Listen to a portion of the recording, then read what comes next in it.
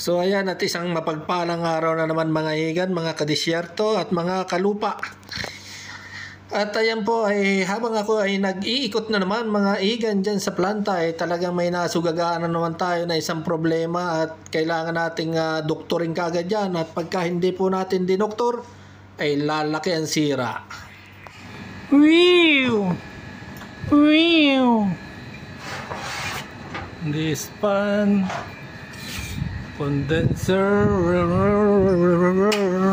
So ang naging problema po niyan mga igan ay ang pan po ng condenser ay napakaingay kapag tumatakbo at talagang garalgal. Kaya sa madalit sabi ay binakbakan kagad namin yan at minamadali naming tapusin yan at dahil sa pahapon na nga po yan eh. Kaso may mga problema kaming na encounter at kailangan namin pag-isipan mabuti. Ayan. This this bolt there is a nut inside. It is uh, rotating only. Both. So what we will do is we will cut from here. We will do some make at hole here. Okay, so we can insert the spanner both side. So yun po, ito po ay mayroon pong issue tong uh, what is the issue bro? This marwa, ha? Hmm. Marwaha Arabic marwaha English pan. Yeah. Okay? Yeah. So we will remove that one, ha? Chiller chiller system HVAC for safety shower beaker use. Okay, bro. Para po sa inyong kalaman, yan po ay safety shower kung tawagin po namin. Yan po ay chiller system na may tubig po yan sa pinakataas po niyan. Yan po ay parang tangke na may tubig na pinalalamig. So ang sistema po niyan ay may mga compressor po siya, may recirculation pump, tapos may condenser, at condenser tapos may pan. So ang problema po niya na yung pan sa likod ng condenser ay maingay so gumargal po siya kapag tumatakbo. So kaya po sa araw po na yan, yan po ang aming uh, pinaka-job order po niya na at yan po ay naikutan ko habang ako ay nag-inspeksyon. So sa madalit sabi, agad ay titirahin po natin yan kasi pang safety po yan eh.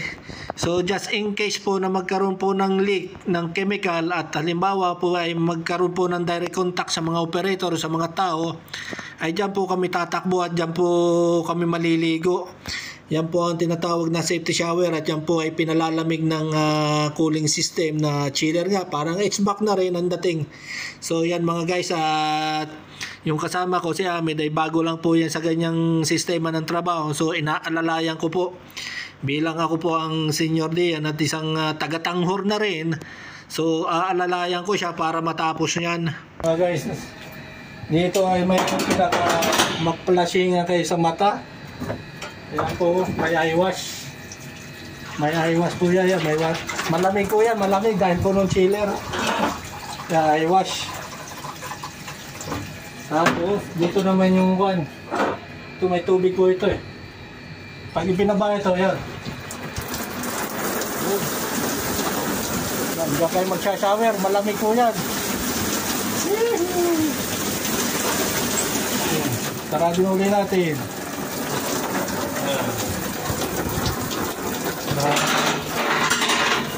may problema yung pinakapan maingay, bearing na naman yan so aming babakbakin. Tinutulungan ko si Ahmed.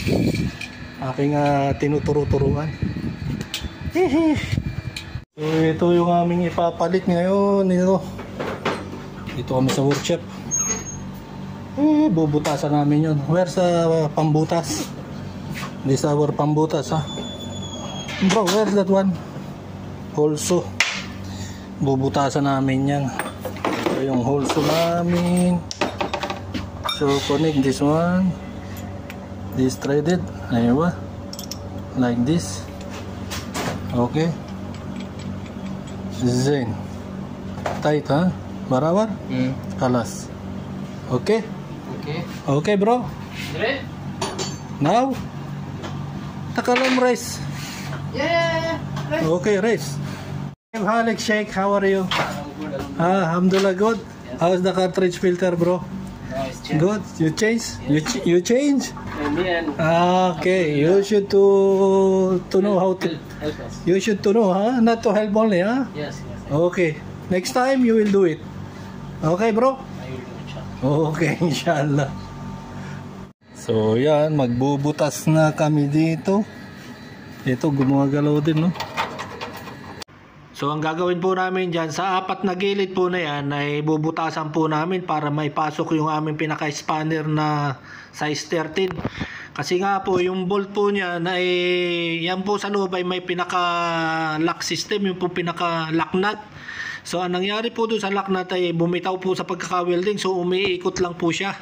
Kaya makikita po ninyo na bubutasan ko po yung gilid na yan. Bali, apat na gilid po yan dahil nga po ay hindi po namin matatanggal yung bolt kung hindi po namin bubutasan yan. At sa madalit sabi, yan po ay kakatingin ko na rin. Puputulin ko ng hacksaw blade.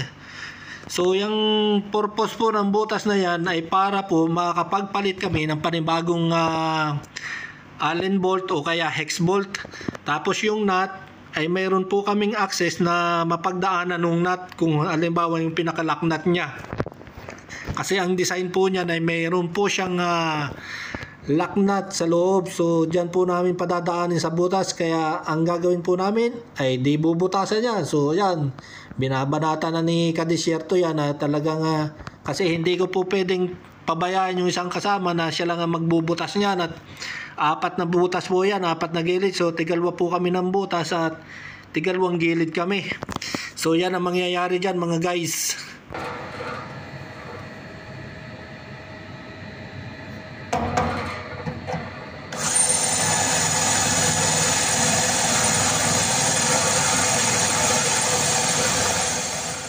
So ayun nga at may butas na akong nagawa. Dalawa bali yan na pagbutas na ako ng dalawa at titirahin na naman yung kabila. Yun ang mga diskarte po dyan mga guys. So yun, yun, dinudukot na namin. Yung bolt na yun, eh, okay, hold brother, hold. Iyan. Iyon. Umiikot yung nut sa loob, kaya hindi namin matanggal dito sa labas. So kaya nagbutas kami ng ganyan, yan, binutasan namin para maka-access doon sa loob. Yan, butas. Kita ganun niyo yung isang butas na yun, yun. Yun, may butas. So yan mga guys. Okay, MSIG bro, MSIG. Hold on. Okay. Aywa. Okay. Ah. Batal batal bro. Wait. Okay. Okay bro. Ara this motor. Batal batal batal. Batal. Batal. Aywa. Yan ang pan na may depekto. Kalin eh. Whew. So ito mga guys yung sinasabi namin umiikot ang mga kuwan. May mga nut yan oh. Ito natanggal na yun sa pagkaka-weld yan po ang itsura niyan. So kaya hindi po namin matanggal agad. Oh, stuck up. See? Oh. Yan, dyan ka na lang sa basurahan. So guys, next movie is will change, okay? So yan mga guys. Yan may pinaka may nut na doon sa loob, yan. Bolted na yung bagong kwan, bagong pan. So paano namin nahawakan yung kwan yun, yung pinaka nut? So yan ang tanong. So ginawan po namin ng paraan yan. Discarding malupit po yan. So yan, may mga nut po yan sa loob. Mm.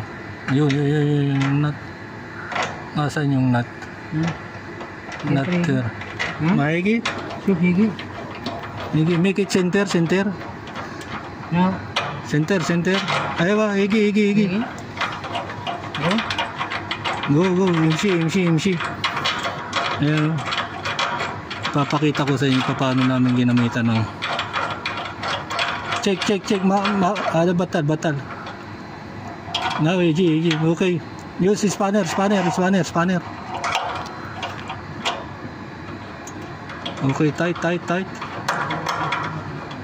So, ito mga guys, yan. Paano namin nailagay yung kwan, yung nut do sa loob. Kasi pagka kinontrahan natin ang spanner na 13, eh mahuhulog. Hindi naman pwede natin maipasok yung ating daliri. So, itong spanner na to, lalagyan natin ng tape. Dito, ayan oh. Lalagyan natin yan ng tape. Kahit anong tape, basta dumikit yung kwan, yung nut. Tapos yung nut, ito, ating ipapasok yan dito. Yun. So, didikit ngayon siya. Hindi na siya mahuhulog. Sahe? Mm. Happy Paul ha? Happy. So yung ah, okay, give me bro. So yung ayan, ito ng bolt na yan, yung Allen bolt na ikasa na doon sa loob. So ayan, yung sa ayan. ah. So ito ang mangyayari yan.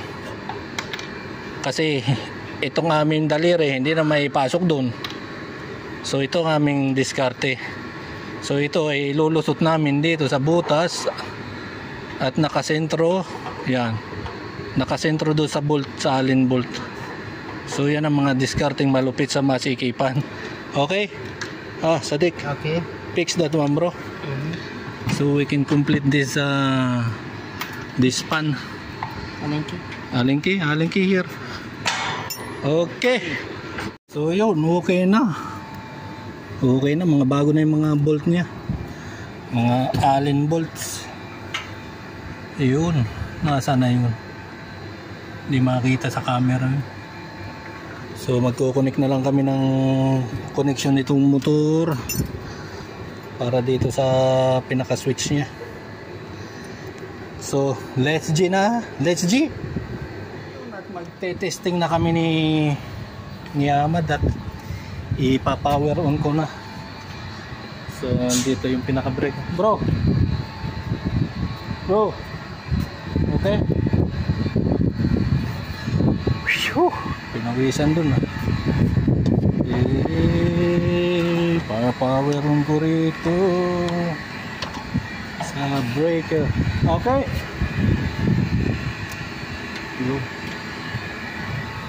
Okay na. Check bro. Now it's running.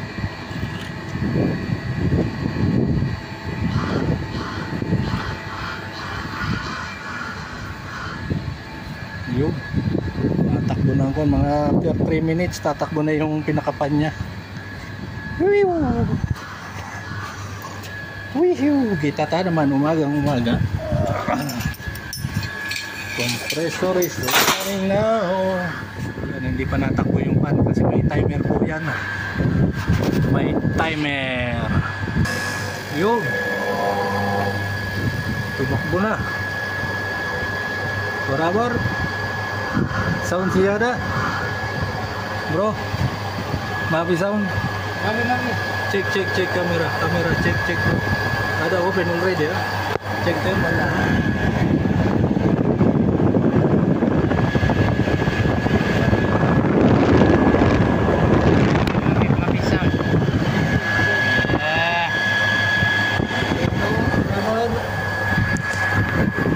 Tulusin. Yan, okay na. Dati napakaingay po niyan. Yan o. Itong tinanggal namin na ito, napakaingay nito. Garalgan. Malamang ito na naman eh, overhaul na naman to. Pero pagka tinatanggal namin eh, hindi naman maingay eh. So yan. Okay na. Pwede nang takbo ba?